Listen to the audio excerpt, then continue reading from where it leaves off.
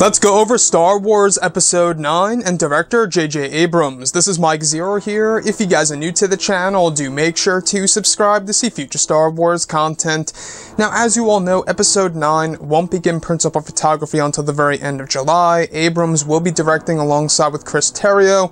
Everything seems to be moving along pretty smoothly. This week we have been learning a little bit more about Episode 9, and one of the big things is that Star Wars Episode 9 will break tradition when it comes to the Star Wars franchise. Now, this all comes along with breaking the familiarity of the past and introducing new lore, weapons, and ships. So, this honestly connects to a rumor from a couple of months ago that episode 9 will actually introduce brand new things in the Star Wars universe and won't be tied to the past. If you guys look at the sequel trilogy, in particular with The Force Awakens and The Last Jedi, you see a lot of things that are indeed connected to the original trilogy, such as TIE fighters, X-Wings, you name it, A-Wings, and we have heard before that Star Wars Episode 9 is going to break away from all that familiarity, and this honestly connects to that old rumor, and it seems as so that J.J. Abrams wants to create something completely new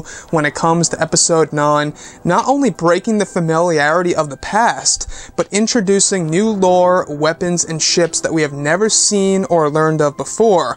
Now, looking at the last film in the sequel trilogy, I do have a couple of fears, and my big fear, if they actually have the bravery to kill off Chewbacca, the droids such as R2-D2 and C-3PO, and even the destruction of the Millennium Falcon.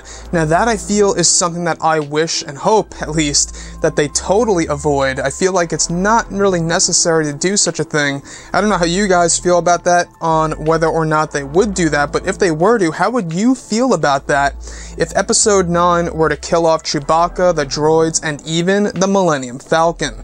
Now we have also heard before by J.J. Abrams that the Star Wars Episode 9 film will actually contain a lot of prequel trilogy continuity, and this film will serve as a tool to combine all nine movies together. So this is going to be exciting to me, honestly. I'm not quite sure where they're going to go with that when it comes to combining all nine films together. It could mean dozens of things out there. It could have something to do with the Jedi. It could have something to do with some characters that we already know of.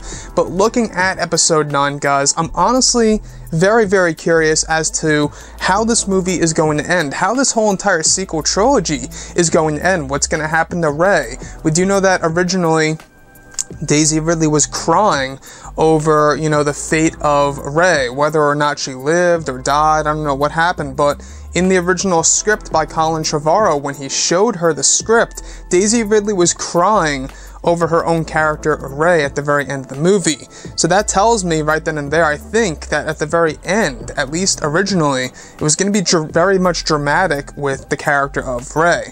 But anyways, guys, drop a comment below. Let me know what you think about all of this in the comments section. And if you guys did enjoy the content for today, do make sure to drop a thumbs up on this video to support the channel. I thank you all so very much for the kind support, and I'll catch you guys next time.